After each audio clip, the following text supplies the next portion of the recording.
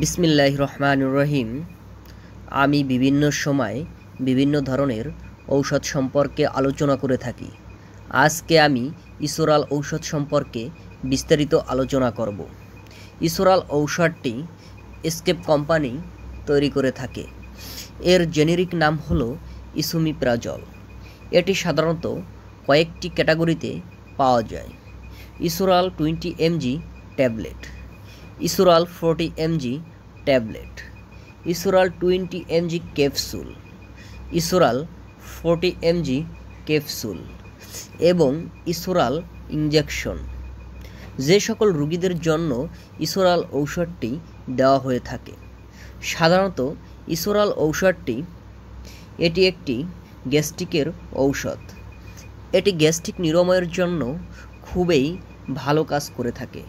যে সকল রুগীদের উচ্চ মাত্রাশীল গ্যাস্ট্রিক গ্যাস্ট্রিক আলসার এবং পেটে ব্যথা, পেটের উপর অংশে ব্যথা, লম্বা ঢেকুট ওঠা ক্ষুদা মন্দ্রা, বমি বমি, ভাব হওয়া, এ সকল রুগীদের জন্যই ইসোরাল ঔষধটি দেওয়া হয়ে থাকে, যাদের অতিমাত্রায় ডেকুক আসে তারাও ইসোরাল ঔষধটি খেতে পারে।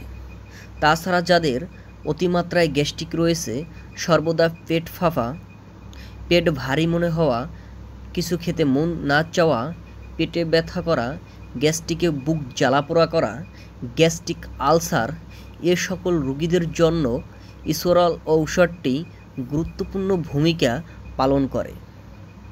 ইসোরাল ঔষধটি খাবার নিয়ম হলো সাধারণত প্রাপ্তবয়স্ক ইসোরাল টোয়েন্টি এমজি ক্যাপসুল দৈনিক সকালে একটা এবং রাতে একটা খাওয়া যেতে পারে।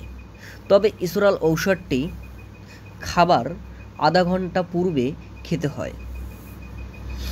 তবে রোগীর অবস্থাভেদে রোগীর তারতম্যর উপর ভিত্তি করে এবং ডাক্তারের পরামর্শ অনুযায়ী ইসরোয়াল ট্যাবলেট ও ব্যবহার করা যেতে পারে, অথবা রোগীর যদি ওষুধ দ্বারা গ্যাস্ট্রিক না কমে, সেক্ষেত্রে এর ইঞ্জেকশন ও ব্যবহার করা যেতে পারে। সেটা সম্পূর্ণই রোগীর অবস্থাভেদে রোগীর তারতম্যর উপর ভিত্তি করে এবং ডাক্তারের পরামর্শ অনুযায়ী এর ডোজ এবং এমজি বাড়ানো কিংবা কমানো যেতে পারে। ইসোরাল ঔষধটি ব্যবহারের ফলে কিছু পার্শ্ব প্রতিক্রিয়া রয়েছে। তবে অল্প সংখ্যক রোগীর ক্ষেত্রে এর পার্শ্ব প্রতিক্রিয়া দেখা দেয়। যেমন, ডায়রিয়া হওয়া, বমি, ডায়রিয়া হওয়া, পেটে ব্যথা করা ইত্যাদি হতে পারে। গর্ভ অবস্থায় এবং স্তন্যদানকালীন সময় অতি প্রয়োজনে ডাক্তারের পরামর্শ অনুযায়ী ইসরাল ঔষধটি খাওয়া যেতে পারে। তাছাড়া প্রেগনেন্সির জন্য যারা গর্ভবতী রয়েছে, তাদের জন্য বাজারে আরও ভালো ভালো গ্যাস্ট্রিকের ঔষধ রয়েছে। যেমন প্যান্টুপ্রাজল রয়েছে। প্যান্টুপ্রাজলের ঔষধ গর্ভ অবস্থায় খাওয়া ভালো। যদি আপনাদের ইসোরাল ঔষধ সম্পর্কে আরও কিছু জানার থাকে, তাহলে অবশ্যই আমাদেরকে কমেন্ট করে জানাবেন। তাছাড়া যদি অন্য কোনো ঔষধ সম্পর্কে জানার থাকে, তাও আমাদেরকে কমেন্ট করে জানাবেন। যদি আমাদের এই ভিডিও ভালো লেগে থাকে, তাহলে অবশ্যই আমাদের এই চ্যানেলটি সাবস্ক্রাইব করে আমাদের সাথেই থাকুন। ধন্যবাদ সবাইকে।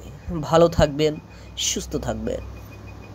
যে কোনো ঔষধ কেনার পূর্বে অবশ্যই এক্সপায়ারি ডেট দেখে কিনবেন।